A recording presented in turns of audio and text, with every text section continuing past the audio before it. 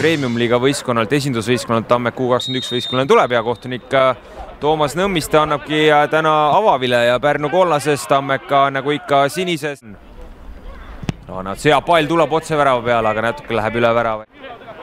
üritavad äh, lühikese sööduga nagu ikka ja nüüd tuleb Raidilt halb tagasisööt ja tuleb esimene võimalus kohe, aga Vaabel võtab selle olukorra ära. paneb pika palli siia diagonaalis Lälli suunas, Läll saabki selle palli kätte.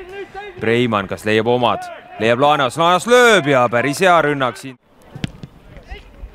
suurt Vainule ja tuleb esimene ära ja esimene tuleb ära, tundub, et lõpuks sai selle palli sisse löödud Rait Läll siit tagapostist aga nurgalöögist siit kolmekümne kolmandal mänguminutil Tartu Tammek U kakskümmend üks võistkond läheb juhtima seda kohtumist. Vainu eksis seal natukene väljatulekul ja ei saanud seda palli kätte, läks nibin-nabin üle tema näppude.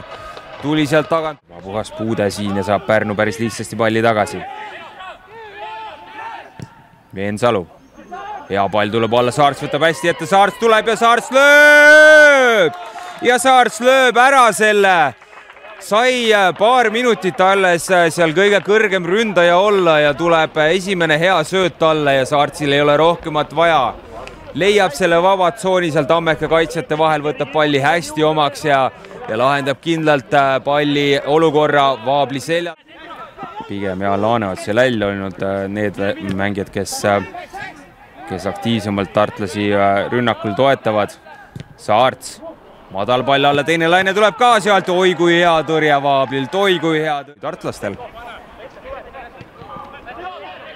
kõrgelt võidab Pärnu palli tagasi ja on ka löögikoht tulemas, tuleb sööt veel ääre peale ja löögikoht on nüüd jälle olemas ja kaks, kaks-üks tuli siit ära kohe.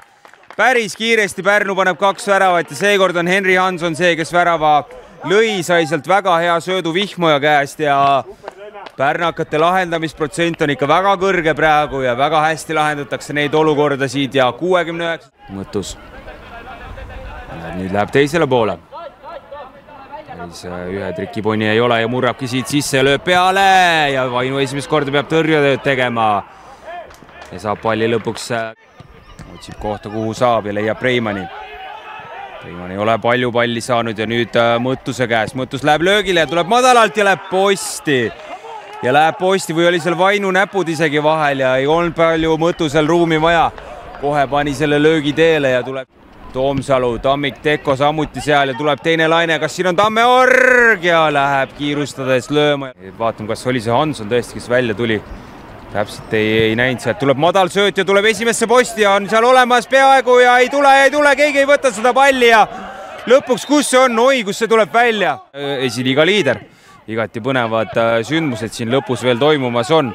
ja siin peaks olema mäng tõenäoliselt läbi ka.